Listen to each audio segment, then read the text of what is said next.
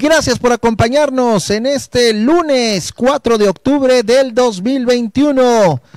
Parecía que no, pero sí hubo redes sociales para poder transmitir. Me da mucho gusto saludarles y darles la bienvenida en esta nueva emisión. Santos Laguna ganó por la mínima contra Mazatlán. El juego estuvo espantoso, horrible, infumable, pero lo más importante es que Santos sacó la victoria del TCM. Miguel Moreno, ¿cómo estás? Bienvenido, muy buenas tardes. ¿Cómo te fue sin redes sociales este lunes? Muy buenas tardes, compañeros. Buenas tardes a toda la gente aquí en la transmisión de la red deportiva. Bueno, sí, primero que nada, eh, la parte de, las redes sociales, ¿no? Que, que, por ahí nos, nos pegó toda la mañana y gran parte de esta tarde. Eh, afortunadamente por ahí ya se pudo restablecer, pero también pues, nos damos cuenta que a final de cuentas eh, que somos dependientes de, de, de la tecnología y de las redes y de Facebook y de WhatsApp y de lo que quieras. Y pues bueno, afortunadamente ya se pudo restablecer. Y en la parte futbolística, eh, creo que era necesaria la, la, victoria. Los propios jugadores lo entendieron así desde que se suscitó el partido contra Monterrey, aquella derrota. Creo que los futbolistas de Santos Laguna lo entendieron de esa manera y así lo tenían en su mente, ¿no? Había que ganarle a Mazatlán sí o sí, como fuese, de la forma que fuese, y creo que a final de cuentas eso terminó sucediendo. Un Santos que nuevamente pues parece que no convence a nadie, pero que afortunadamente logra esos tres puntos que lo meten en los primeros nueve puestos y con un juego pendiente. Señor Luis Miguel Rodríguez, bienvenido, muy buenas tardes. ¿Cómo le fue sin redes sociales este lunes?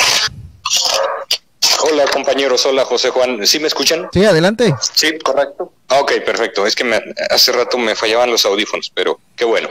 Eh, bueno, y buenas tardes a toda la gente que se enlaza con nosotros. Mira, pues yo creo que, que nos dimos cuenta que había gente con la que hace mucho no platicábamos en persona, ¿no? Eh, yo me puse a platicar ahí con un vecino y a veces platico con él por redes sociales y yo le decía, mira, pues casi nunca, casi nunca platicamos en persona, platicamos por WhatsApp, pero eh, creo que esta cantidad de horas que tuvimos, porque fueron varias, ¿eh? creo que desde las 10 de la mañana hasta hace más o menos una hora o, o menos se restableció el servicio, pero, pero está feo, está feo, porque yo creo que las redes sociales nos acercan y nos conectan en muchísimos sentidos, pero también nos separan en otros. Y con respecto al partido, pues yo cada, cada vez le veo al Santos la misma propuesta, siempre se la veo, eh, su sello característico. El problema es que cada vez noto más que no logran ejecutarla. Antes tenían la propuesta y la ejecutaban muy bien. Uno sabía a qué pretendía jugar el Santos y lo lograba plasmar sobre el terreno de juego. Bueno, seguimos entendiendo de qué se trata la propuesta, pero el problema es que ya no la pueden materializar en el campo como antes. La delantera no mete goles, el medio campo no produce, eh, eh, sé que no está Acevedo, entonces la HUD no es un portero de nivel. Creo que lo único rescatable o los únicos que comen aparte en este equipo, pues son Campos, Doria y Félix Torres, porque de ahí en más el resto está muy, pero muy debajo de las expectativas. Vuelvo a mencionar lo que dije, que es mi idea central de mi entrada. Sigue teniendo propuesta el Santos, pero ya no tiene la capacidad para ejecutarla. Roberto Piña, muy buenas tardes. Muy buenas tardes, compañeros. Buenas tardes a toda la gente de las redes sociales que siguen la red deportiva. A mí me parece que el tema con Santos el pasado sábado era ya ganar como sea. Eh, creo que aquí las formas importaban poco. Muchos sí hablaban de que tal vez este Santos debía de convencer, etcétera. Pero también es una realidad de que Santos pues no ganaba desde la jornada 7 y eso también venía siendo algo alarmante con el equipo. Entonces yo creo que el tema era que Santos ya tenía que ganar como sea en su casa. O sea, a lo mejor es preocupante esta situación de estar hablando de esto, de ganar como sea ya, pero es, pero es que creo que era la realidad de Santos, más allá de las propuestas que puede tener en el terreno de juego, del nivel de los jugadores, de la capacidad que tengan cada uno de ellos, a la gente pues le urgía una victoria para saber o para ver al equipo todavía compitiendo incluso por el mismo repechaje, ¿no? Porque si se hubiera seguido batallando en conseguir victorias y si no se hubiera dado contra Mazatlán, pues ahora sí habría una crisis muy grave en Santos. Entonces, qué bueno que se da la victoria, Claro que quedan a deber muchos jugadores y ese es el tema de análisis, eso es lo que podemos debatir, pero creo que al final la buena noticia es que Santos termina ganando otra vez como, como local, que no hay errores en el encuentro contra Mazatlán, que a lo mejor esa era un detalle que todavía falta por arreglar en el equipo porque creo que todavía se le puede seguir moviendo o se demostraron situaciones que nosotros veíamos que eran mejorables para Santos, por ejemplo el tema de Cervantes, que se mostraron en el juego y que podemos también rescatar para tratar de aliviar un poco el torneo y de que Santos siga sumando y subiendo en la tabla general. En torno a esto es que le preguntamos en la encuesta del día de hoy, ¿cuántos juegos considera usted que ganará Santos Laguna en los últimos seis partidos del torneo Apertura 2021? Hasta el momento, 30% de quienes han votado dice que van a ganar los seis que restan en el actual torneo. 50% de los que han votado dicen que gana de 3 a 5 y de 1 a 2 partidos el 20% de quienes han votado. Hasta el momento nadie ha votado por la opción de que Santos Laguna no ganará ningún partido de los seis que le restan en el actual torneo. Digamos, señor Moreno. Adelante, ¿cómo, perdón? Sí, sí.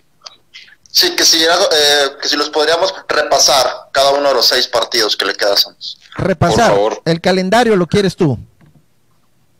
Correcto. Muy bien. A ver, eh, empieza Santos porque, espérame tantito, va a jugar... Pachuca es el primero, ¿no? Pachuca es el primero, es correcto, es el que va a tener para cuando regrese la fecha FIFA. Tiene partido contra el América, también tiene partidos contra los Pumas, pero para ir en orden estricto es Pachuca en la jornada número 13. Luego va a jugar en la jornada número 14 contra el América en el Estadio Azteca. Luego va a recibir a los Diablos Rojos del Toluca el 24 de octubre aquí en el TCM. Después va a visitar a los Gallos Blancos del Querétaro en la jornada 16. Y antes de terminar el campeonato, tiene que enfrentar a los Pumas de la Universidad el 4 de noviembre para el día 7 recibir al San Luis en el cierre del campeonato. Señor Moreno, ¿usted cómo ve esto? Ok, entonces van a ser dos visitas, una localidad. Dos visitas ah, y una localidad. Es correcto. ¿Es correcto? Es correcto, así es. Bueno, yo sinceramente eh, veo un, un, panorama bastante gris como el cielo hoy en la comarca lagunera. Este, creo que a Santos Laguna no le veo hoy en día, sí le veo ya esas ganas y ese intento, pero creo que algo que es más preocupante es el quiero, pero no puedo, ¿no? O sea, ya hoy veo a un Santos que ya de plano no puede, José Juan. O sea, si intenta, si busca, si corre, si mete, ya, ya metieron a Ibarwen, ya metieron a al que me digas, ¿no? Pero ya con mencionar a Ibarwen es que ya estás usando prácticamente todas tus armas disponibles. Y eso para mí me refleja un sí quiero, pero no puedo, y eso es más preocupante para mí todavía. Y con este cierre, eh, con cuatro partidos como visitante, y solo dos como local, pues yo creo que el equipo para mí debe de andar aspirando a poder ganar uno de esos cuatro y como local, pues si me apuras empezar a sacar, pues yo creo que otros cuatro puntitos y párale de contar, o sea, yo no veo mucho más de este equipo. Señor, Siete puntos. Señor Moreno, me sorprende su postura, o sea, ¿No cree que Almada le va a alcanzar para revivir a este equipo en los últimos seis partidos? Yo creo que Almada esta vez no le va a poder alcanzar con un equipo que me parece que está en su todo. Hoy los futbolistas están en un nivel bajísimo. Hoy estamos viendo la peor versión de Brian Lozano en Santos, la peor versión de Gorriarán en Santos, la peor versión de Valdés en Santos el, el Mudo Aguirre no pesa, eh, no, no hay poder mágico, la varita de Guillermo Almada no va a funcionar en esta ocasión con jugadores con un nivel tan paupérrimo. La varita mágica de Almada no va a alcanzar en este torneo. Ah, caray, el almadismo empieza a perder a sus más fieles este, defensores. Luis Miguel Rodríguez, ¿qué piensas de esta postura de la varita mágica de Almada no va a alcanzar para este torneo? Bueno, me gusta el concepto porque, porque el Señor la tiene, o sea, la tiene y la ha utilizado y le ha funcionado. Pero fíjense bien, lo estoy diciendo como pasado, le ha funcionado cuando la magia de los canteranos, que se tiene todo el mérito Almada por haberles dado la oportunidad, eh, Ahora, hemos retomado mucho aquí el tema de que hay futbolistas que no cuentan con el nivel que le hemos visto en otros torneos. Entonces, eso tampoco le ayuda al pobre de Almada. Ahora sí que por al pobre de Almada. Pero estoy de acuerdo con Miguel. Es que son, es dos veces doble visita. Dos veces doble visita. Espero haberlo anotado bien. Visita Pachuca y visita América, ¿verdad? Así es. Sí. Bueno, yo me atrevo a decir, la de visitar a la América, démosla por derrota, ¿eh? el, Santos difícilmente le va bien en el Azteca contra el América. Ni se diga visitar a Pumas, ¿eh? Ni se diga visitar a Pumas, que es ya más adelante. Yo creo, le veo posibilidades, si acaso, cuando visite a Querétaro, ¿eh? Si acaso, porque recibir en casa a Toluca no va a ser nada sencillo, ni tampoco a San Luis, que es, tanto San Luis como Toluca andan mejor que Santos. Entonces, partiendo de eso, a todos los rivales que se va a enfrentar el Santos, salvo salvo Pumas y Querétaro, pues Santos está pal perro junto con ellos, ¿eh? Entonces, salvo esas situaciones, yo también veo muy complicado ese panorama de seis partidos que se le avecinan al Santos, ¿eh? Sobre todo por ciertos antecedentes en ciertos partidos, sobre todo el de visitar a Pumas, que ya ha pasado muchas veces. Santos ha llegado líder general a ese estadio y ha perdido. Santos ha llegado con mejor ritmo de partidos que Pumas y nivel y ha perdido. Y hoy que Santos va mal, pues ni modo que sea la diferencia. Entonces, muy, muy bastante complicado el panorama. Yo también creo que no le va a alcanzar a Almada la varita mágica, pero también esa varita mágica se sustentaba mucho por nivel de futbolistas, nivel óptimo en, en el campo, que hoy no lo tienen Valdés lo llegamos a mencionar aquí muchas veces. Le podríamos, le podíamos perdonar a Valdés un pésimo partido, siempre y cuando frotara la lámpara y al final hiciera alguna, algún acto de esos que él sabe hacer por su capacidad. Bueno, ya ni siquiera esa chispa ha presentado Valdés en este torneo. Si vamos a seguir viendo a un Gorriarán de lateral, de lateral derecho que para mí ya fue una burla para la afición y para la prensa y para todo el mundo, porque Gorriarán de lateral derecho de verdad que es una burla a mi punto de vista. Si vamos a seguir viendo este tipo de cosas, pues entonces que nadie se espere que el Santos aspire a, algo grande, ¿eh? difícilmente lo veremos. Ahorita voy con el señor Roberto Piña porque también me interesa su opinión, pero antes queremos agradecerle a Superplaza que está con nosotros aquí en la red deportiva. En Superplaza encuentra las mejores ofertas para surtir tu despensa con los mejores precios en abarrotes, frutas, verduras, carnes frías y todo lo que requieres para tu hogar o negocio. Además te ofrecemos la mayor calidad en todos nuestros productos. En Superplaza también recibes tus envíos de dinero desde Estados Unidos y dentro de la República Mexicana con las comisiones más bajas de nuestras compañías de envío de dinero sigue Intermex. También disfruta de nuestra panadería y la mejor cocina donde encontrarás guisos caseros con el mejor sazón. No deje de probar el pan de muerto, está delicioso ahí en Superplaza. Estamos en la calle Alianza número 15, esquina con la avenida Juárez en San Pedro de las Colonias Coahuila y también en Matamoros Coahuila en la esquina de la calle Niños Héroes y avenida 5 de Mayo. Recuerda, Superplaza, donde te cuesta menos y te rinde más. Gracias a Superplaza por estar con nosotros aquí en la red deportiva. Señor Piña, yo pensé que con el triunfo se iba a destapar más el ánimo del señor Moreno, del señor Rodríguez, pero parece que estoy viendo como si hubieran perdido 4-0 contra el Mazatlán.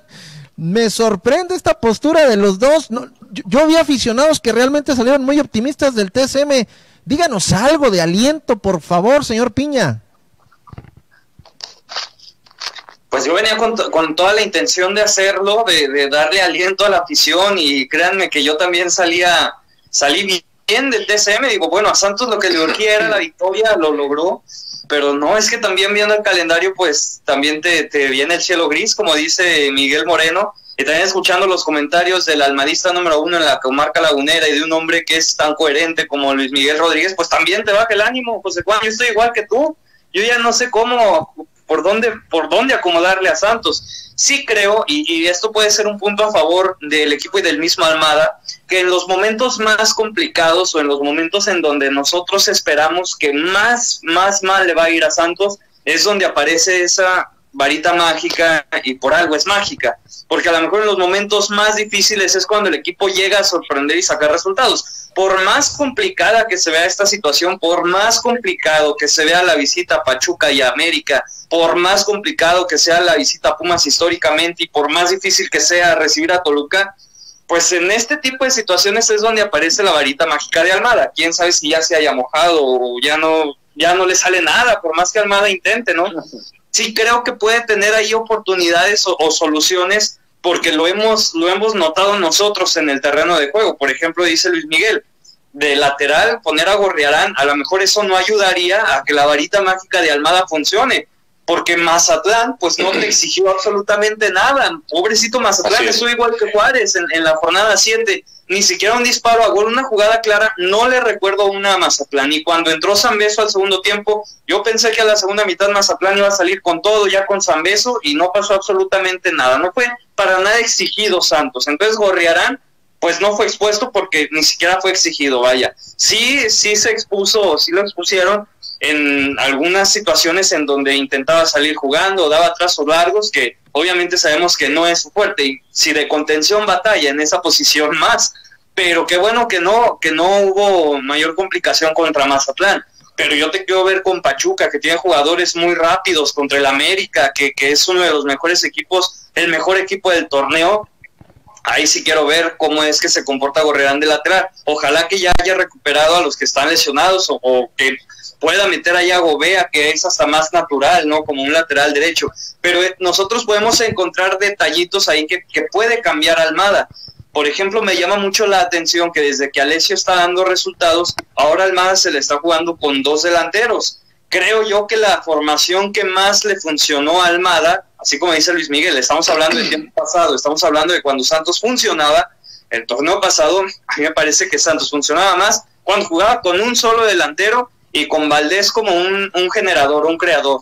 Estos dos últimos encuentros, pues yo considero que Valdés no ha tenido ni siquiera una chispa o no ha ni siquiera intentado un buen pase porque está jugando en la contención y en la contención pues Valdés tiene que tener más sacrificio, más labores defensivas y no está tan encargado de generar, ¿no? Incluso Valdés por eso no se ha visto tan mal en estos dos encuentros porque no le han exigido generar fútbol o así como le encargan, no sé, a Alessio da Cruz, que ha tenido más esa carga, creo yo, de arrastrar un poquito más el balón. Entonces, considero que todavía le está buscando Guillermo Almada, está buscando soluciones y prueba de ello es lo que decía ahorita Miguel. A Andrés Ibargüen lo metió para ver si era algún recambio en el equipo, a ver si ahora sí funcionaba. O sea, soluciones todavía está buscando Almada. No es que ya se haya dado por vencido y decir, bueno, este equipo ya no da para más. Todavía está buscando soluciones, jugadores que le puedan funcionar eh, y hay detalles, por ejemplo, Brian Lozano, lo quiero meter aquí a la mesa. Qué bueno que lo dejan cobrar los penales y qué bueno que ha metido goles, pero su funcionamiento en el terreno de juego eh, no es bueno. Y en el segundo tiempo, cuando entra Jordan Carrillo, tú ves lo que en realidad le puede funcionar a Santos en, en un juego desde el principio, desde el arranque, ¿no? Ojalá que Almada pues se dé por vencido en tratar de recuperar a Brian Lozano, como lo dijo ya en una reunión con la prensa, y trate de meter al bien de Santos que está en su mejor posición, en su mejor nivel en el presente y no recuperar los pasados, sino que ponga los mejores jugadores en el presente, en el actual de Santos. Y creo que, por ejemplo, ahí podemos encontrar que puede haber algunas soluciones de, Guillermo Almada. Sí estoy desanimado después de las palabras de, de, Miguel Moreno, de Luis Miguel Rodríguez, pero creo que todavía puede haber una, una llama encendida, José Juan, eh, y espero que la afición que ve la red deportiva también esté conmigo. Mira, ahorita hay mucha gente que dice que va a ganar los seis encuentros que le restan a Santos. O sea, el ánimo también está por el lado del aficionado. Ahora bien, quiero partir de esto. No, puede ser, yo soy el que voy a, ser más almada, almadista que almada. Ahora sí que yo mismo me voy a tener que sorprender quiero suponer que estamos partiendo de la idea de que Santos va a estar en el repechaje. O sea, ya estamos descartando que va a estar en los primeros cuatro lugares. Vamos a suponer que entra en el repechaje en el lugar 8, 9, 10. Vamos a darle esa concesión. A lo mejor el 7. Vamos a, a ponernos un poquito más optimistas. Bueno, señor Moreno, a partir de noviembre, cuando se juegue el repechaje, finales de noviembre, ¿Usted no considera que al menos dos jugadores del Santos pueden jalar la carreta de este equipo, como en su momento Gael Sandoval y Furch hace un año más o menos? Que Almada se encuentre dos jugadores del medio campo que levanten su nivel, no sé, a lo mejor Valdés con las convocatorias, no sé si el regreso, no sé, el regreso de Ayrton, dos jugadores que le permitan a Santos darle la vuelta a este asunto para noviembre. Mira, para mí está claro, eh, José Juan. Creo que hoy ya cuenta con uno de ellos, que es Alessio. Me parece que solamente está faltando otro que pueda ser ese acompañante y que pueda ser esa mancuerna junto con Alessio como para poder esperar un poquito más del equipo. Pero porque hoy me parece que es, que es el único que al frente busca o que trata de, de generar algo. Si Santos Laguna logra encontrarle un socio a Alessio da Cruz, creo que Santos Laguna podrá aspirar a algo más en ese torneo. Mientras eso no suceda, pues me parece que es, que es, que es muy complicado, pero sí, como lo comentas, tiene un mes y medio aproximadamente como para poderle encontrar ese socio y me parece un tanto descabellado, pero yo le apuesto a Andrés Ibargüen como el socio de Alessio da Cruz. Andrés Ibargüen, ándale, si eso pasa, señor Moreno, les voy a invitar a todos ustedes unas cheves bien frías en el lugar más caro de Torreón, ¿eh? De verdad, en el más caro. Vamos a ver la lista de los precios donde venden la cheve más cara de Torreón y ahí se les voy a pagar. Así de seguro estoy que Ibargüen no va a ser, pero bueno, ahorita hablamos y profundizamos del tema. Antes queremos agradecerle a Alex Grill por estar con nosotros aquí en la red deportiva. Alex Grill, sabor, calidad y precio. Un menú amplio para paladares exigentes. La parrilla de Alex Grill se abre todos los días, se enciende todos los días desde las 2 de la tarde hamburguesas, cortes, tacos, ensaladas de primerísimo nivel para que usted disfrute de las mejores hamburguesas, cortes, tacos y ensaladas de la comarca lagunera. Además ya tenemos cerveza en Alex Grill, cerveza Corona y Victoria. Estamos ubicados en la calzada mejor dicho, en la Diagonal Las Fuentes, número 900, en Plaza Londres. Le repito, en Diagonal Las Fuentes, número 900, en la Plaza Londres. O si usted quiere hacer pedido a domicilio, llámenos al 8713 348811 8713 348811 Alex Grill, sabor, calidad y precio. Gracias a Alex Grill por estar con nosotros en la red deportiva. Mensajes de la gente que está con nosotros en la transmisión. Dice Flavio Amaya, buenas tardes. Con este funcionamiento, ¿cuántos partidos ganará Santos? Excelente programa y saludos. Pues más o menos por lo que mis compañeros están diciendo y por lo que estoy viendo en la encuesta, la gente le está apostando a ganar los dos en casa y uno fuera. Más o menos como tres partidos es lo que está apostando eh, el, el, entorno. Juan González, saludos amigos. Lorenzo Mata también nos manda a saludar. Lalo Galaviz, este Santos no convence. Parece que el único que quiere es Alessio da Cruz. Se ve que trae unas ganas diferentes a los demás o vive en mejor momento que toda la parte ofensiva. Y aquí te pregunto, Luis Miguel, ¿lo de Alessio no se deberá a que es el que tiene menos tiempo conviviendo con Almada? Bueno, entonces con esa pregunta interpreto que, que le estás dando mucha culpabilidad a Almada de lo que pasa, ¿no? Desgaste. O sea, estás diciendo, al, al, Alessio juega bien porque no está tan influenciado por Almada. No, no, no, no, no está Podría desgastado. Ser, pero... No está desgastado por Almada, que te diga lo mismo, que te repita okay, lo okay. mismo. No, no, no, que, no que Almada lo influencie, sino que no lo ha desgastado como a los demás. No, no quiero creer en eso. Bueno, yo te diría que no.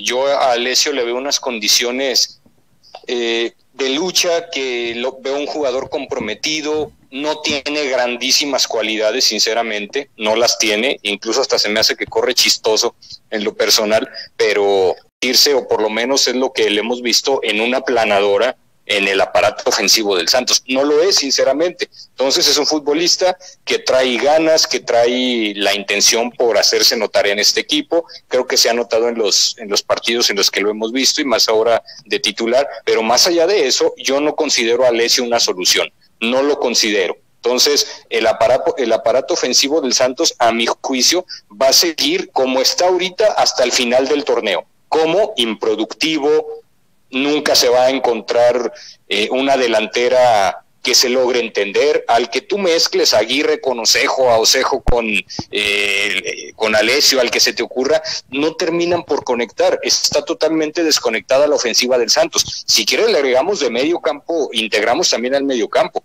Si la ofensiva no está conectada, pues tampoco está conectado el medio campo con la ofensiva. Entonces, por eso yo decía al principio, creo que los únicos que comen aparte son los dos centrales y campos. De ahí en más, bueno, y el lateral derecho cuando juega Gobea o cuando está Orrantia, ¿verdad? Pero de ahí en más, el equipo es totalmente eh, disfuncional de medio campo hacia adelante. Decía uno de los comentarios ahí de una persona decía, con ese funcionamiento creen que el Santos va a hacer algo, yo me voy a agarrar de ese comentario.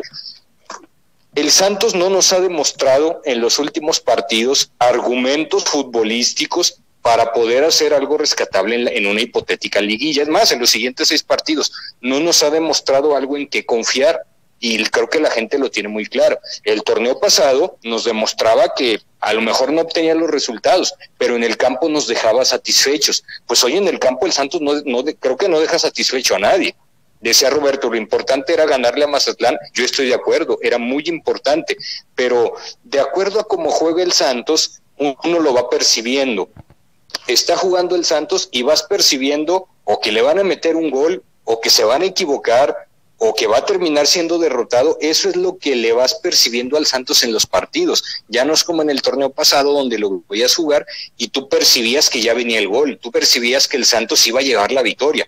Eso ya no se siente, ya no se palpa, al contrario, lo ves jugar y yo me quedo con algo. Si Mazatlán hubiera jugado el primer tiempo como jugó el segundo, a lo mejor otra cosa hubiera sido, porque Mazatlán el primer tiempo vino a regalarlo a, a ver cómo se le, se le encimaba el Santos, pero de ahí en más siento que Mazatlán no hizo más porque no quiso, sobre todo en el primer tiempo. Entonces, yo creo que el Santos no tiene cómo sustentar su, su nivel, y es un nivel entre comillas porque lo tiene bastante bajo, y si le agregamos las individualidades que están en un porcentaje de su nivel bajísimo, difícilmente te da esperanzas el equipo para algo. Me sorprende la gente que, que, que está segura, y comparto la opinión de José Juan, de que el grueso ha de decir, pues ganando los dos partidos en casa y a lo mejor ganando uno de visita. ¿De verdad ven tan fácil ganarle en casa a Toluca y a San Luis? ¿Lo ven tan fácil? Pues sí, pues con todos han batallado en casa. Ahora con estos que son de mucho más cuidado, no me quiero imaginar el festín que se puede dar este jugadores como Zambuesa en un medio campo que sinceramente no contiene nada. Entonces, creo que el panorama está bastante complicado y yo no veo muchas esperanzas tampoco, ¿eh? Más mensajes, Lorenzo Rubio, este Santos no convence, Mario de Loera Hernández, buenas tardes, JJ, ya se cayó Facebook, WhatsApp e Instagram y ya se restablecieron. ¿Para cuándo la segunda etapa del TCM? Saludos. No, Mario, pues eso ya, este, olvídalo. Esteban Amaya Rivas, José Juan, el sábado tuvimos juego en el TCM. Digo, la verdad, yo estaba trabajando en el estadio. Si no me hubiera dormido literalmente, me aburría al minuto 10 del primer tiempo.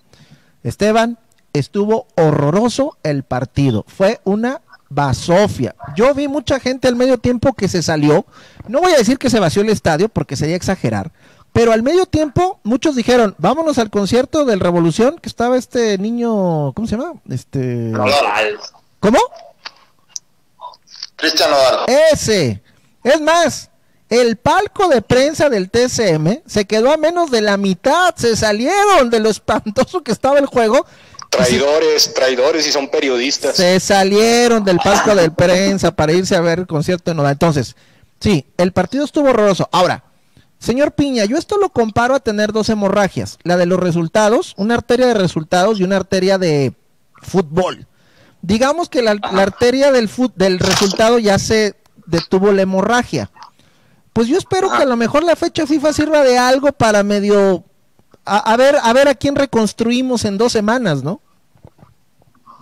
Ojalá, ojalá, aunque las, aunque históricamente creo que las fechas FIFA no le, no le van mucho a Santos. O sea, siempre mencionamos esto, ojalá y esta semana que tenga descanso Santos vuelva totalmente distinto, ¿no? A su próximo juego y lamentablemente no, pasa así la mayoría de las veces y, y, Pachuca pues es un equipo complicado, pero pues es que sí es la verdad, esperemos que al menos como ustedes mencionaban en el programa, que otro que acompaña a Alessio que pueda más o menos como cargar con el equipo para, para llevarlo a buenos términos en estos últimos seis encuentros que le restan en, en la temporada, pero aún así se ve muy difícil. Y es que también viendo el panorama, yo me vuelvo a poner otra vez ahí en las gradas del TCM y me pongo a imaginar a Santos jugando contra un Toluca que es muy buen equipo y, me recuerdo cómo estaban jugando a Mazatlán, que fue cierto, eh, fue muy aburrido el encuentro. O sea, sí no veo cómo se le pueda hacer buen partido a Toluca. San Luis juega muy bien de visitante, curiosamente en este torneo no le asusta jugar fuera de casa, entonces sí es un panorama difícil para Santos pero insisto, puede ser que en este tipo de, situaciones es cuando Guillermo Almada como que prende la vara y, es ahí donde el equipo da, da resultados. Pero estamos esperanzados únicamente en ello, porque si nosotros nos podemos a esperanzarnos en el nivel futbolístico de jugadores, pues aquí lo vamos más o menos como resolviendo. Podemos tener esperanza en el nivel de Alessio da Cruz, que es una flamita ahí que, que llena de esperanza la ofensiva a Santos podemos tener la esperanza y nada más en él a la ofensiva, porque lo demás es en la defensa, como lo decía Luis Miguel. Pues tenemos la esperanza en que Torres, Doria, Campos y el que esté ahí de lateral, pues puedan tener ahí su, su mejor nivel y como han jugado en el torneo, no han decepcionado, no han defraudado. Pero en quién a la ofensiva, en qué jugadores a la ofensiva podemos tener esa esperanza para que acompañe a Alessio da Cruz para tener un buen nivel. Porque por más que que nosotros queramos que el Mudo Aguirre agarre un nivel todavía muy interesante, creo que todavía no, no, no se ve tan cómodo al Mudo, ¿no? Más allá de que con la experiencia en Juegos Olímpicos y que mucha gente ha mencionado que... lo ha tenido, Robert? Perdón. Perdón, Miguel. que te interrumpa, perdón que te interrumpa, pero ¿cuándo el Mudo ha tenido un nivel más que interesante, un nivel que te que se cargue el equipo al hombro, un nivel de esos que que te sientas con la plena convicción de que el mundo te va a marcar un par de goles en un partido. ¿Cuándo, Robert? No, aquí no, muchas veces no. Y yo creo que su mejor momento, estarán de acuerdo conmigo, fue en aquella ocasión que le logró anotar a Tigres, creo que en dos partidos, y, que mencionaba, no, que Nahuel más no puede con el mudo Aguirre. Creo que fueron los únicos momentos en donde Aguirre brilló. Pero mira, todo es, le alcanzó para ir a Juegos Olímpicos y la afición estaba muy, esperanzada en que volviendo de Juegos Olímpicos iba a aportar a Santos, pero pues ya vimos que no, y aparte de Aguirre, Osejo y el tema de los delanteros que no anotan, que tanto trae Luis Miguel, entonces ¿en quién nos podemos esperanzar? En Brian Lozano todavía no nos podemos ilusionar, aunque ha metido los últimos dos goles, pero como les digo, de penal únicamente, y qué bueno que lo dejan cobrar, porque su juego es, es, es este, todavía queda mucho a deber, ¿no?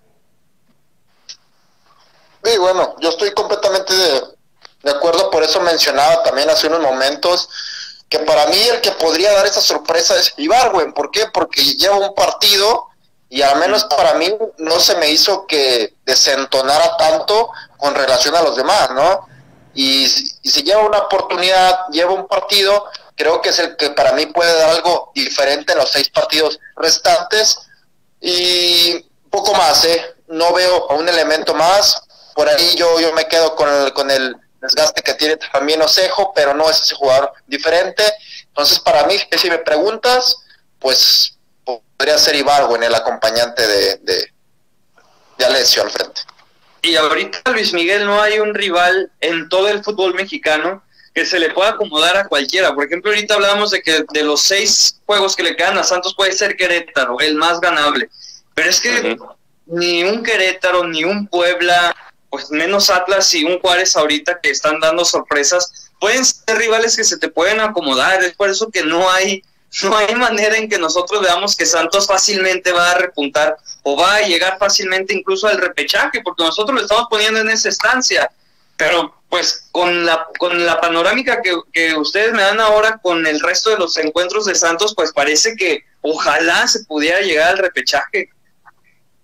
Mira, eh, bien lo dices. Yo creo que este torneo nos está deparando cosas que no nos, nos, hubiéramos imaginado. Yo no me esperaba, sinceramente, la victoria de Juárez sobre Monterrey, no me la esperaba. Y mira, mira Juárez lo que le hizo a Monterrey, creo que debió meterle otro más. Vamos a ver, vamos a comparar. ¿Cómo está el Santos? Que el Santos pierde en casa contra Monterrey y Monterrey debió haberle metido más goles y luego Monterrey va a Juárez y, se ve totalmente abrumado por el equipo del Tuca. Entonces están ayer ayer San Luis que le empata eh, que empata San Luis con Toluca. Entonces, ahí, están dos rivales a los cuales el Santos se va a enfrentar. Entonces, son situaciones bastante cambiantes. Si queremos verlo por el lado de que hay equipos o que la mayoría de los equipos no terminan por cuajar un nivel significativo, puede ser válido y ahí puede el Santos tener un, un pequeño resquicio de esperanza. Yo creo, o por lo menos a mi punto de vista, al único equipo que le veo solidez y eso que también de repente patina es el América. De ahí en más los demás son irregulares. Confiaba mucho en esta regularidad que parecía estar teniendo Monterrey, pero pues ya le puso el, el freno Juárez el viernes. Entonces, de eso podría agarrarse el Santos, ¿eh? de que hay mucha irregularidad en cuanto al nivel de los equipos, pero, pero hay que sostener eso con un nivel sobre el campo, que es lo que el Santos no tiene ¿De qué se va a agarrar el Santos? Porque de nivel futbolístico no se puede agarrar el equipo. Entonces, ¿de qué se puede agarrar? Pues de esperar que el rival tenga algún tipo de accidente para el Santos aprovecharlo. Considero yo que eso es de lo único que el Santos pudiese eh, agarrarse como estandarte, porque en cuanto a nivel y en cuanto a juego, no lo puede lograr. Ahora, tampoco nos engañemos. Podemos eh, caer en la idea de que lo importante es sacar resultados. Muy bien, pero yo siento que si tú presentas un nivel, cierto nivel convincente en el campo, estás más cerca de obtener un buen resultado. Si presentas un nivel paupérrimo sobre el campo, estás más alejado de obtener un buen resultado. Entonces, el Santos tiene en su mezcla de ingredientes todo lo necesario para, para no sacar puntos. Pero es que, ¿por qué parece que está muy lejos, Miguel? El nivel que Santos mostró contra León, por ejemplo. O sea, Santos no ha tenido una victoria que vista realmente en el torneo, ¿no? Estuvo a punto de ganarle a León, por ejemplo, y esa victoria lo hubiera vestido muy bien. O sea, lo hubiera puesto bien parado. Imagínate que le gane a un, a un Pachuca, por ejemplo, de visita, yo creo que es una victoria que te puede vestir, al mismo Toluca en casa, no digamos al América. Pero qué ta, o sea, ¿por qué se ve tan lejos el nivel que pues prácticamente este mismo equipo o, o este mismo director técnico pudo tener ante León, ante Tigres, por ejemplo, que en el primer tiempo lo maniató. ¿Por qué se ve tan lejos ese nivel de Santos para esta próxima jornada 13? O sea, ¿por qué se ve tan lejos? ¿Qué es lo que le hace falta al equipo para regresar a ese juego? Ah, bueno, creo que todo lo que podemos estar conversando es cerca del mal funcionamiento que, tiene el equipo. Tú me, tú me preguntas, Robert, ¿por qué se ve tan lejos? Por la misma razón que se veía lejos previo a enfrentar a Tigres por la misma razón que se veía lejos previo enfrentar a León, creo que aún previo a esos partidos no se veía tan sencillo poderle ir a plantar cara a esos equipos, que sí, a final de cuentas sí se dio y, creo que el equipo mostró una buena cara y mostró un buen fútbol, pero previo a los partidos esos que, que comentas, que me parece son los dos mejores como visitante junto con el de Necaxa, pues la verdad es que no se esperaba tanto de, del equipo.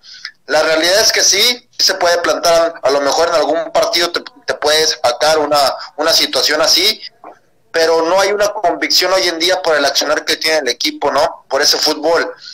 Ya lo platicamos, lo conversaba también por ahí Luis Miguel un poco, la parte de que creo que sí existe esas ganas o ese ímpetu, pero no existe ya la parte futbolística, que creo que es la que le está fallando hoy en día al equipo.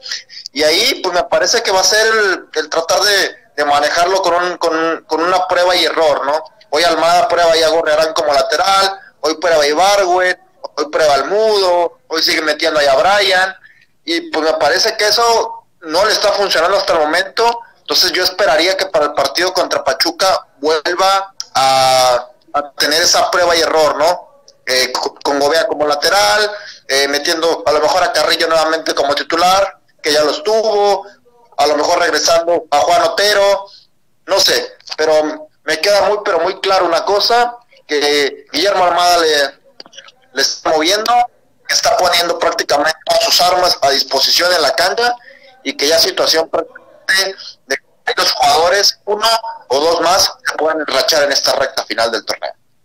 Porque no, no fue casualidad ese, ese momento cumbre en el que llegó Santos en el torneo, Luis Miguel. Yo me acuerdo de lo que tú mismo comentabas, era un equipo que se conocía de hombres, no de nombres, que tenían puesto muy bien el overall. O sea, porque ahora parece que es, es muy lejos? Y no fue casualidad, pero pareciera ahora que se ve muy lejana la, la, posibilidad que decía Miguel Moreno. O sea, para que Almada siente a Brian Lozano, eso sí se ve muy lejano. o sea, para que ponga a Jordan Carrillo, sí parece que, que va, vamos a, a, a verlo no muy cercano en este torneo, ¿no? Mira, eh, Miguel dice algo muy importante, él, y es cierto, es la realidad, o por lo menos se, se nota en el equipo, y sobre todo en Almada. Almada está prueba y error, prueba y error pues ese prueba y error, eh, el resultado han sido puros errores. Yo quisiera, mira, de veras, me daría mucho gusto, pero para que Almada se, se, la trague, ver a Gorriarán de lateral derecho contra el América. Ahí quiero ver que se atreva a poner a Gorriarán de lateral derecho contra el América, a, ver cómo le va a Gorriarán y cómo le va Almada en su, en su idea de andarle inventando esa posición. Ahí sí me gustaría verlo. Pero sí lo que yo siento es que el Santos pareciera que en cada partido o cada semana de trabajo está en pretemporada. Es decir, la pretemporada previa a la jornada 7, la pretemporada previa a la jornada 9, la pretemporada previa a la jornada 10. Es decir, en cada semana, previo a cada partido, es estarle moviendo a esa prueba y error, como dice Miguel, y el resultado, creo yo, es que, aparte de que él ya, ya se empieza a confundir en, eh, en su armado del equipo de alineación para el siguiente partido, pues también ya está confundiendo a los jugadores que ya no saben si van a jugar o no, ya no saben a quién van a tener en un lado, ya no saben quién va a ser el, eh, el lateral, ya no saben quién va a ser el que alimente a los delanteros. Entonces, creo que el Santos está eh, metido en una confusión de conceptos, de ideas que obviamente se refleja en el campo, en lo futbolístico, que sinceramente no trae nada. Antes de continuar con mis compañeros que están en un tema sumamente importante, vamos a darle las gracias a Promoturdi que está con nosotros en la red deportiva. Disfruta de las playas del puerto de Mazatlán con los paquetes más económicos en Promoturdi, que ya se encuentra, por cierto, Mazatlán en semáforo verde. Además, tendrás los mejores hoteles a tu disposición, Océano Palas, Costa de Oro, Star Palas y Playa Mazatlán. Pero si solo buscas la transportación hacia el puerto sinaloense, te ofrecemos viajes redondos a precio 199 en la colonia Torreón Residencial. Recuerda, con Promoturdi regalamos experiencias. Gracias a Promoturdi que está con nosotros aquí en la red deportiva. Y le recuerdo que si usted tiene algún tipo de evento deportivo, social, político, familiar que desee transmitir en las redes sociales, hágalo a través de Vasco Comunicaciones. Envíenos un WhatsApp en el 8713 774783 o si usted lo prefiere, ponga su marca o producto en el aparador de las redes sociales a través de las transmisiones de Vasco Comunicaciones en la red deportiva. Recuerde, WhatsApp 8713 774783. Nunca fue más sencillo poner su marca en el aparador de las redes sociales. ¿Cómo vamos con la encuesta? Bueno, pues tenemos que el 49% de la gente que ha votado se mantiene con que Santos va a ganar de 3 a 5 juegos de los 6 que le restan en el actual torneo. El 28% dice que va a ganar los 6 partidos. De 1 a 2 partidos, el 23% de quienes han pasado por la encuesta y lo restante, ninguno solamente ha tenido un voto hasta el momento. Dice Palacios Gabriel, muy apenas van a entrar en el lugar 12 si Almada sigue así. Samuel Castruita, me parece muy obvio el lugar que ocupa Chile en la eliminatoria. ¿Por qué convocar a Diego Valdés con este nivel? No me imagino cómo han de estar los otros convocados. Y agrega, no sé si es mejor que el equipo no califique a repesca, ya que de nuevo seremos evidenciados como contra Monterrey o Pachuca. y eso le va a doler mucho al aficionado. Bueno, oigan, pues es que no hay otra manera de medirlo más que estando. O sea, imagínate. Sí, sí, sí, pero yo, yo estoy de acuerdo, José Juan, pero yo creo que hay cosas que son por demás evidentes. Eh, por demás evidentes, el equipo no trae nivel, los jugadores, sobre todo de medio campo hacia arriba, están en muy mal nivel. Es decir, el equipo si se mete a un repechaje va a llegar sin delantera. Yo decía, ya no me acuerdo en qué partido fue, si el Santos hubiera jugado sin delantera, salía la misma, porque pues no aporta nada. La delantera del Santos no es capaz de construir un gol. No son capaces de eso. Los goles últimos han sido de penal y los ha metido un mediocampista. Entonces, yo me pregunto, ¿a qué quieren entrar a un repechaje y menos a una liguilla con ese nivel? A de veras, hacer el ridículo, como dice ahí uno de los comentarios de la gente, yo entiendo que el club dice, es que el objetivo es calificar. Pues claro, pues ese es el objetivo de, de todos los equipos del fútbol mexicano, pero una cosa es calificar y dar el ancho ya estando ahí, y otra cosa es calificar para dar vergüenza. Entonces, si va a ser calificar para dar vergüenza, mejor que ni califiquen. Eh, pero en la liguilla todo puede pasar. O sea, Sí, entiendo que también estoy de acuerdo en eso. yo, yo, dije aquí, perdón, José Juan, eh, que ya tuvimos un Santos del 2015 que tuvo un pésimo torneo de una maravillosa liguilla y acabó campeón. Digo, tampoco les neguemos esa posibilidad, ¿verdad? Pero, pero todo puede pasar, ¿verdad? Pero yo hoy no le veo al equipo muchas hechuras para lograr algo así. Ahora, seamos sinceros, cinco puntos y lo saca Santos, ¿no? O sea, está cinco puntos del repechaje. Sí, casi, casi podemos decir que es inevitable, señor Moreno, que estén ahí. Por lo tanto, van a tener que competir en esa instancia de repechaje. Es decir, vamos, el fútbol no les va a evitar estar en el repechaje. Eso sí, eh, yo sí voy a, diferir un poquito ahora de, de Luis Miguel. Para mí, eh, ya estando ahí dentro del repechaje y dentro de, la, de una posible liguilla, pues para mí vas a ir a competir y, te la vas a ir a jugar de todas, todas, ¿no? Creo que Santos sí no pasa por ese buen nivel futbolístico, pero tiene a los elementos que ojalá y nos ilusionamos con volver a repetir esa situación que ya pasó en el 2015. Esperamos que puedan encenderse en ese repechaje o en esa liguilla, pues los seleccionados uruguayos, ¿no? O el seleccionado chileno, o el holandés, ¿no? Yo creo que esa es la esperanza que hoy, que hoy puede tener el equipo y pues para mí no es eh, para qué vas a calificar, no, para mí tienes que ir a calificar y después tienes que ir a competir y después tienes que pensar cómo ganar y cómo superar a tu rival. Ahora, claro. Pero eso que mencionas, Miguel, este, eh, eso que mencionas es, es, creo, siento que es la obligación, ¿no? Implícita de los futbolistas para con la institución siento que claro que están obligados a dar su 100%, están obligados a, defender esa camiseta y ese escudo, a, dar su máximo esfuerzo. El problema es que eh, ya nos han demostrado que por más esfuerzo que le pongan, les falta lo, lo, vital, que es el juego, y el juego no lo traen. Yo de verdad veo cómo a veces Gorriarán, que nunca ha sido de mi total agrado Gorriarán, me parece un buen futbolista que cumple hasta ahí pero no me parece mejor que Cervantes, por ejemplo. A lo que quiero llegar es que Gorriarán corre y corre, pero no tiene nada de sentido su desgaste. Y manda un montón de pases, pero de ese montón de pases, eh, ocho son malos y dos son buenos. Entonces, ¿qué caso tiene tanto esfuerzo si, si al final el resultado es muy pobre? Entonces, yo siento que tienen la obligación como institución por defender una camiseta en el terreno de juego de poner eh, su extra, su 100%, su 110%, pero si no traen la chispa del nivel futbolístico, difícil, difícilmente lograrán algo. Ahora, vamos a poner esto, no van a evitar el repechaje. Probablemente sus posibilidades van a aumentar mucho si están entre el 8 y el 9. Porque si están entre el 10, el 11 y el 12, ahí sí la cosa se va a poner muy complicada el tema sigue pasando por qué tanto fútbol pueden encontrar. Ahorita ustedes han mencionado Correarán, a lo mejor aparece Campos, a lo mejor Almada se ilumina y dice, bueno, vamos a ponerlo a volantear. E, es decir, seguimos a la espera, señor Piña, de este puntito de milagro que le permita al Santos hacer algo diferente. Sí, pero, es un puntito de milagro. Ojalá y vuelvan a recuperar ese nivel futbolístico. Yo ahorita estaba, que escuchaba a Miguel Moreno como con el, tema de los seleccionados, del seleccionado uruguayo, del seleccionado chileno, del, seleccionados ecuatorianos. Espero yo no caer como en una incoherencia en la que ha caído la selección mexicana y que con eso nos estemos yendo aquí en Santos. Me explico.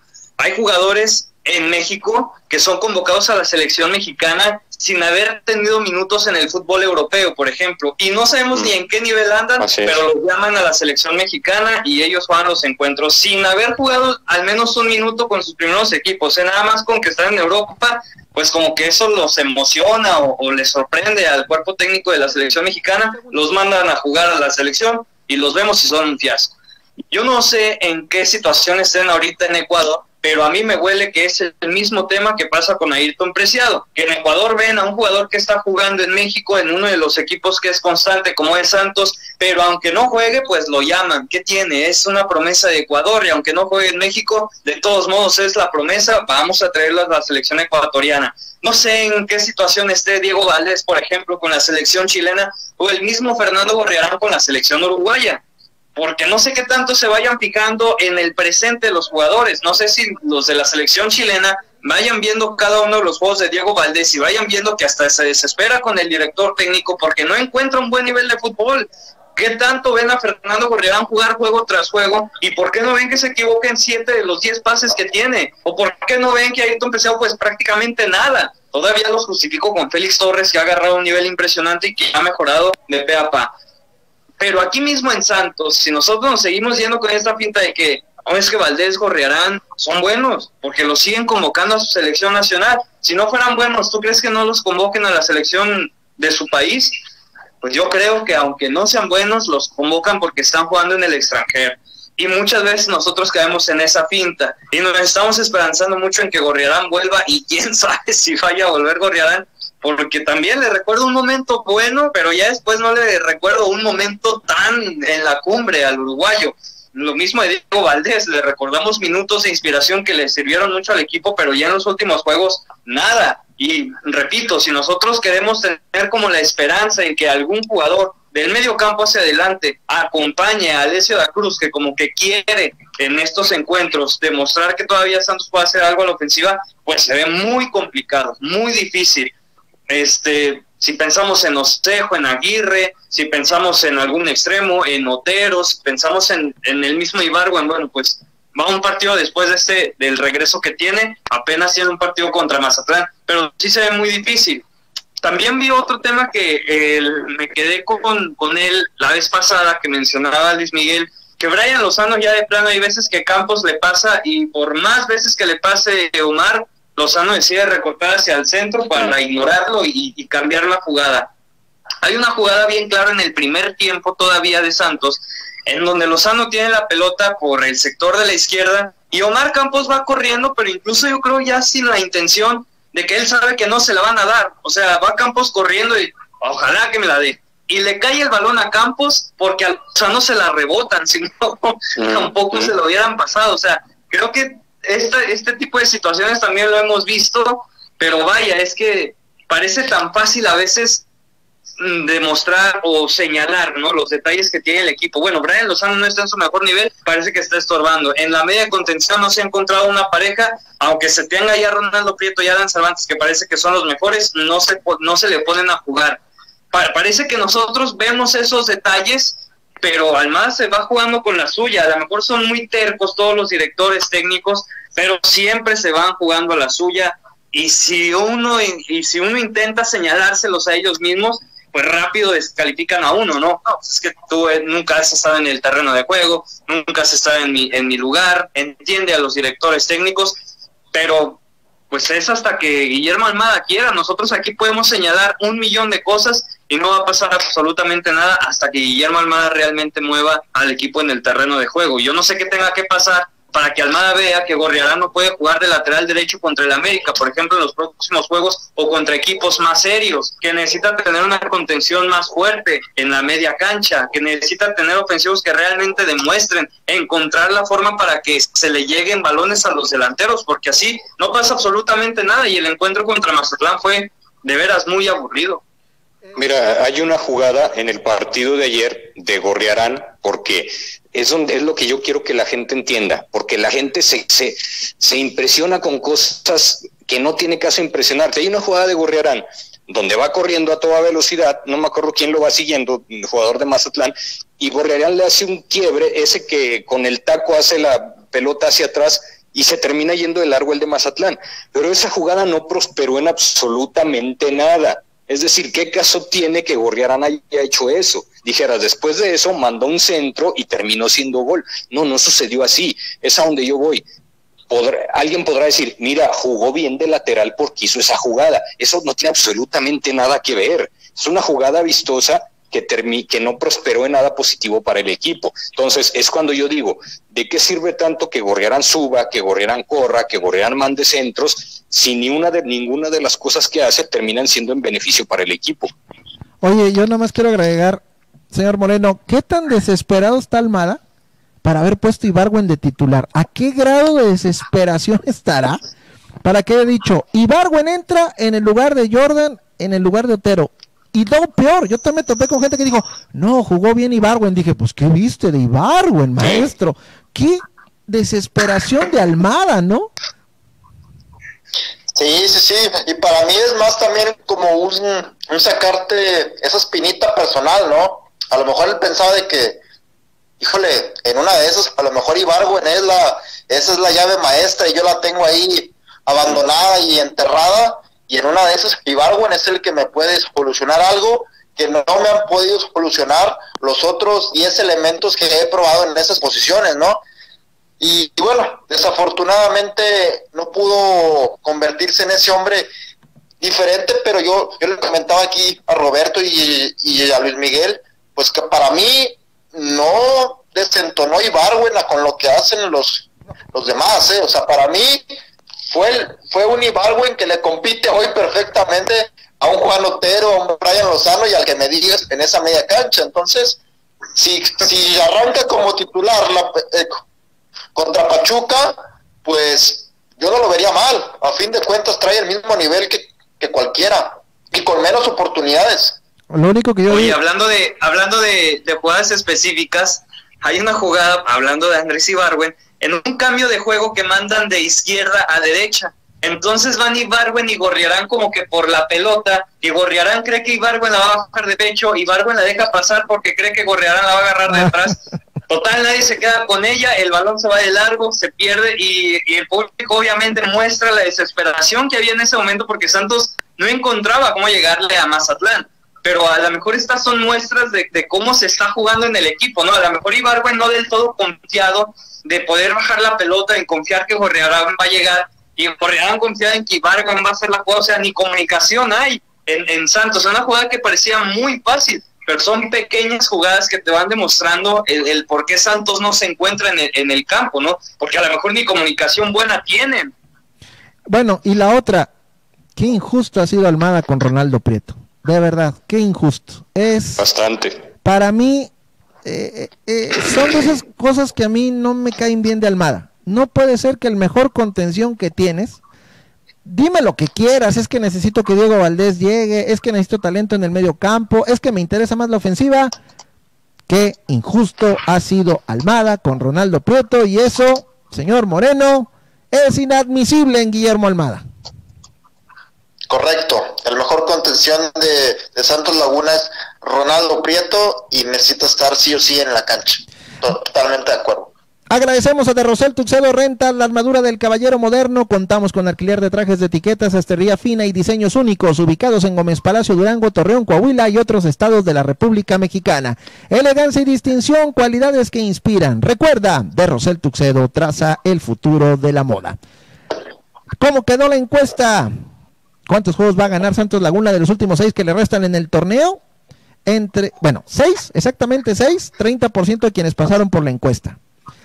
De 3 a 5 partidos, 50% de quienes pasaron por la encuesta. De 1 a 2 partidos, el 19% de quienes pasaron por la encuesta y solamente el 1% dijo que ningún partido iba a ganar Santos en este torneo. Hago la corrección porque se está actualizando, me imagino que por los problemas de Facebook se está actualizando ahorita la encuesta. Voy a corregir números que ahorita me acaban de aparecer. De 3 a 5, 57% de quienes votaron, 63 votos. 32%, que fueron 36 votos, de 1 a 2 partidos. 6% dice que van a ganar los siete partidos, los 6 partidos, que son 7 votos. 6%, los 6 partidos, 7 votos.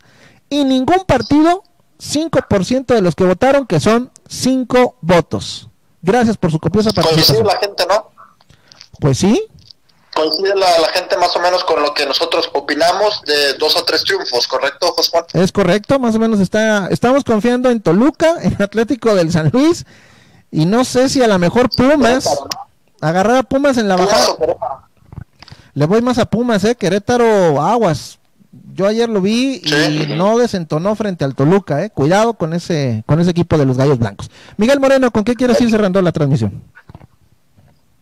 Bueno, yo creo que era un triunfo muy, pero muy necesario. El del pasado fin de semana, ya lo comentamos, esas formas creo que no, no importaban tanto. Hoy eres noveno lugar, tienes un partido pendiente que si lo llegas a ganar, te pudieras estar metiendo hasta por ahí del, del sexto, quinto lugar. Imagínate, con la temporada, con lo que hemos comentado, con lo que hemos dicho, mal funcionamiento, con ese partido pendiente, si Santos lo llega a ganar, pudiera ser hasta quinto lugar de la competencia. Vaya cosa. Luis Miguel Rodríguez, ¿con qué quieres ir cerrando la transmisión? Mira, muchos, muchos temas importantes tocamos y, haciendo una síntesis, eh, Almada sí tiene una varita mágica, sí la tiene, digo que, que esa varita mágica obviamente es su capacidad como entrenador, su capacidad para detectar jóvenes canteranos y no solo eso, sino darle una oportunidad para que se consoliden, sí la tiene Almada, su varita mágica sustentada con con, con este tipo de, aspectos. Pero también, como, como bien dice Miguel, a veces uno dice, bueno, ¿dónde está ahorita esa varita mágica? Pues él mismo se ha encargado de apagarla. Ya sentó a Ronaldo Prieto, que como bien decimos es un extraordinario contención. Ya le está dando más preferencia a Brian Lozano por el lado izquierdo, sabiendo que no trae un gran nivel. Él mismo ha ido apagando su varita mágica poniendo a Gorriarán de lateral derecho. Él mismo ha ido apagando su varita mágica al consentirle a Valdés ciertas cosas, empezando por los berrinches. Entonces, siento que Armada tiene mucha culpa de lo que está sucediendo. Pero por el otro lado, también los futbolistas tienen una tremenda responsabilidad de que no están poniendo sobre el campo el nivel que ya han puesto en, en otros partidos y no nos vayamos lejos en el torneo pasado. Pero para mí la principal carencia del equipo es que no tiene absolutamente ningún asomo de, fútbol. Y si no tiene algún asomo de fútbol, pues a muy poco puede aspirar en lo que resta de torneo. Señor Roberto Piña, ¿con qué quiere ir cerrando? Beñat San José se llama el, el director técnico de Mazatlán. Tenía tres jugadores extranjeros en su once titular, tres nada más. Todo lo demás era este, materia prima mexicana, eran jugadores mexicanos. Y cómo quisiera un equipo como Mazatlán contar con jugadores mexicanos como Ronaldo Prieto y Jordan Carrillo, ¿no? Y Guillermo más que los tiene, material mexicana, pues se sigue prefiriendo jugadores extranjeros por arriba de ellos. Los mexicanos en su misma liga luchan con todo para ganarse un lugar en su mismo fútbol, en su liga MX Ronaldo Prieto ha luchado con todo para ganarse un lugar en el equipo y para muchos de nosotros creemos que ya se lo ha ganado y de todos modos no le siguen dando oportunidad. Jordan Carrillo creo que ahorita es mejor que Brian Lozano y no le han dado oportunidad. Qué bueno que no hay un lateral izquierdo que sea extranjero porque no sé, igual Omar Campos ya ni estaría jugando tampoco. Pero mexicanos puede ser que sea la solución en Santos. Ahí tienen a Ronaldo Prieto, ahí está Jordan Carrillo, incluso Ismael Gobea de lateral, no sé qué hasta mejor lo pueda hacer que Fernando Gorrera, pero fíjense cómo hasta en ese, en ese sentido se siguen prefiriendo jugadores extranjeros que no pasan por un buen presente y de todos modos los siguen eligiendo en una liga que se supone que debería de ser para mexicanos, ¿no? Pero así la confianza que recibe el extranjero y así la desconfianza que hay para el jugador mexicano, al menos en Santos. Y yo agregaría... Roberto acaba, de dar, perdón Roberto, acabas de dar una, para mí, una solución, una posible solución. Que saque a Gorearán de lateral derecho y ponga ahí a Gobea, que esté Ronaldo en la contención y ni modo que siente a Brian y ponga a Carrillo junto con Campos. Cada vez que Carrillo entra al campo en el segundo tiempo, le genera un desbarajuste al equipo rival porque no saben cómo controlarlo. Ahí están unas soluciones y todo lo que tú acabas de mencionar. Y a usted Así es. Así es, también, de una vez, de una vez. Y luego agregaría lo que dijo Roberto Piña, y luego andamos llorando que la selección nacional no tiene jugadores mexicanos para poder dar la cara en competencia. Muy bien, Miguel, muchísimas gracias. Gracias compañeros, gracias a la gente. Gracias Luis Miguel. Gracias compañeros, hasta luego, saludos a todos. Gracias Roberto, muy amable. Buenas noches, buenas noches a todos. Lo esperamos el próximo miércoles a las 3 de la tarde aquí en la red deportiva. Hasta la próxima.